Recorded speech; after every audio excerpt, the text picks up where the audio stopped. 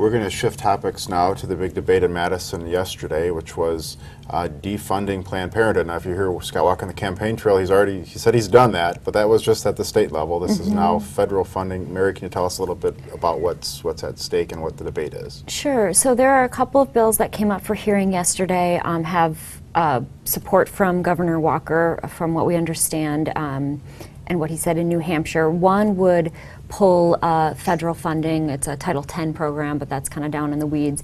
It would uh, essentially end federal funding to Planned Parenthood from one pretty key money stream. Another one would really sharply limit how much they can get reimbursed for prescription drugs. It's been estimated that this could cost Planned Parenthood about $7.5 million a year. And that money, they've said, and uh, it's you know basically banned from being used to provide abortions, but um, anti-abortion groups say that getting this money frees them up to then use other money to perform abortions. So it, I think that I'd probably be pretty surprised if uh, some form of those don't pass, given that we have uh, Republican control of both houses and a Republican governor.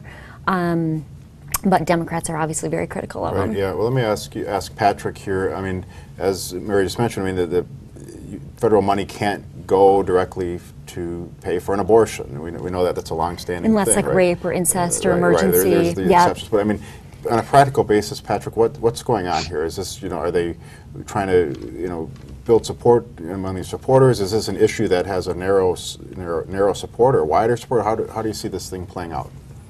Well, I mean, it has the Planned Parenthood is viewed as, um, you know, Republicans have very strong feelings about Planned Parenthood, and they're not positive feelings.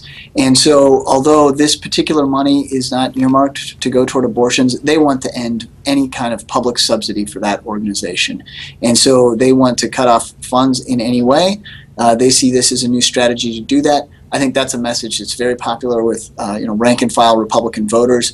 Um, as to when you get into the state capitol, I think it's going to be a matter of strategy. There have been a number of uh, anti-abortion measures. Is there going to be a sense that they've done enough? How important is this compared to the 20-week abortion ban that they recently passed, or uh, ban on work on fetal tissue, which there which is also in process?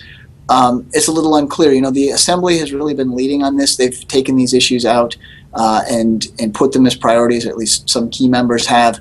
In the state senate, things have been quieter. Both houses controlled by Republicans. But I don't know. I, I think we're going to see more restrictions on either abortion or um, you, you know so, sort of dealing with those social conservative issues.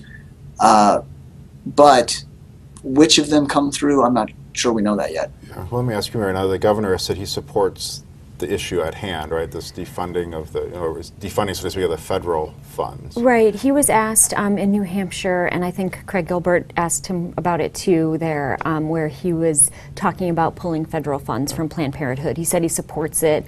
Um, he was asked about the legis- or he mentioned legislation in Wisconsin aimed at doing that.